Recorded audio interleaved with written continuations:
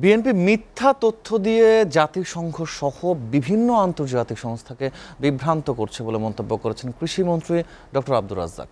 আর তথ্য ও সম্প্রচার মন্ত্রী ডক্টর হাসান মাহমুদ বলেছেন, বাংলাদেশের মানবাধিকার পরিস্থিতি অনেক উন্নত দেশের চেয়েও ভালো। আওয়ামী লীগের যুগ্ম সাধারণ সম্পাদক মাহবুবুল আলম হানিফ বলেছেন যে, সরকারের ভিত্তি অনেক মজবুত, ক্ষমতা থেকে হটানোর কোনো চেষ্টাই সফল হবে না। ঢাকা ও কুষ্টিয়ায় পৃথক অনুষ্ঠানে তারা এসব কথা বলেন।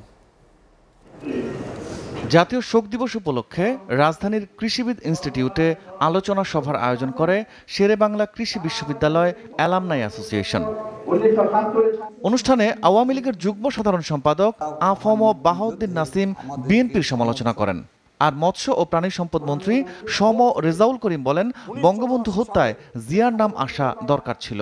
বঙ্গবন্ধু হত্যা মামলার তদন্তে জিয়র রহমানের নামটা আসা উচিত ছিল এবং সেখানে হয়তো লেখা হতে পারত যে তিনি মারা গেছেন, এ কারণে তার বিচার করা যাচ্ছে না। কিন্তু চার্জশিটে জিয়র রহমানের নাম আসা উচিত ছিল। সেই খুনিদের পৃষ্ঠপোষকরা কিন্তু এখনও বাংলাদেশের রাজনীতি থেকে তারা নিশ্চিহ্ন হয়ে যায়নি।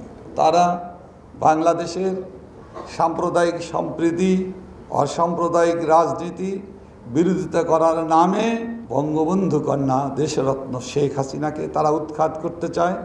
প্রধান অতিথির বক্তব্যে তথ্য ও সম্প্রচার মন্ত্রী ডক্টর হাসান মাহমুদ বলেন বাংলাদেশ নয় জাতিসংঘের মানবাধিকার কমিশনের ফিলিস্তিন ও মিয়ানমারের দিকে নজর দেওয়া উচিত। প্রথম বাঙালি জাতিরাষ্ট্র বাংলাদেশ প্রতিষ্ঠা করেছে। সেই নেতাকে যেদিন হত্যা করা হলো সেই নেতাকে যেদিন সপরিবারে হত্যা করা হলো নারী ও শিশুদের হত্যা করে মানবতার বিরুদ্ধে অপরাধ সংগঠিত হলো সেটির বিচার হবে না। এর চেয়ে বড় মানবাধিকার লঙ্ঘন তার কিছু হতে পারে না।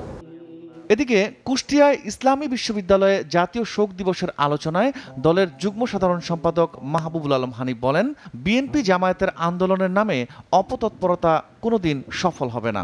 আওয়ামী লীগের পায়ের চলা মাটি না থাকলে তো দেশের নিচেই মাটি নেই। এটা বিএনপির পায়ের মাটি ছিল না বলেই তো তারা আজকে রাজপথে কান্নাকাটি করে বেড়াচ্ছে।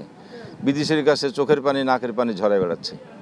তো এইগুলো তারা মিথ্যাচার করে সাময়িক তাদের তৃপ্তি পাচ্ছে, তাদের নেতাকর্মীদেরকে একটু উজ্জীবিত করার চেষ্টা করছে। অন্যদিকে রাজধানীর গ্যান্ডারিয়া থানা আওয়ামী লীগের উদ্যোগে আয়োজিত জাতীয় শোক দিবসের আলোচনায় দলের প্রেসিডিয়াম সদস্য কৃষিমন্ত্রী আব্দুর রাজ্জাক বলেন, নির্বাচনে না গিয়ে বিশৃঙ্খলা করলে কঠোরভাবে তা দমন করা হবে। আজকে তারা দেশটাকে বিপর্যয় করতে চায়। পাঁচ বছর ক্ষমতায় ছিলেন দুই হাজার এক থেকে ছয়। মানুষ আপনাদের প্রত্যাখ্যান করেছে। আমরা বলেছিলাম আপনাদের কবর আপনারাই খুঁড়ছেন। বাংলার মাটিতে তারেক জিয়ার বিচার হয়েছে। সে জেলের আসামি বিদেশে পলায় আছে।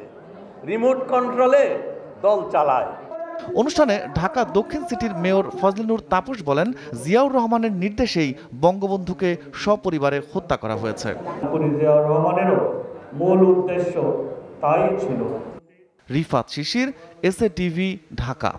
প্রিয় দর্শক জাতীয় এবং আন্তর্জাতিক সব ধরনের সংবাদ জানতে ভিজিট করুন এসএ টিভির ওয়েবসাইট www.satv.tv বিনোদনমূলক অনুষ্ঠান উপভোগ করতে সাবস্ক্রাইব করুন আমাদের ইউটিউব চ্যানেল slash satvbd যেখানে নিয়মিত কমেন্ট করে জানাতে পারেন আপনাদের মূল্যবান মতামত। এসএটিভির বাছাইকৃত সংবাদ দেখতে ভিজিট করুন youtube.com slash satv নিউজে প্রতি মুহূর্তের সর্বশেষ তথ্য পেতে লাইক দিয়ে সংযুক্ত থাকুন আমাদের ফেসবুক পেজে facebook.com slash satv news BD SA television সাথে আছি সব সময়।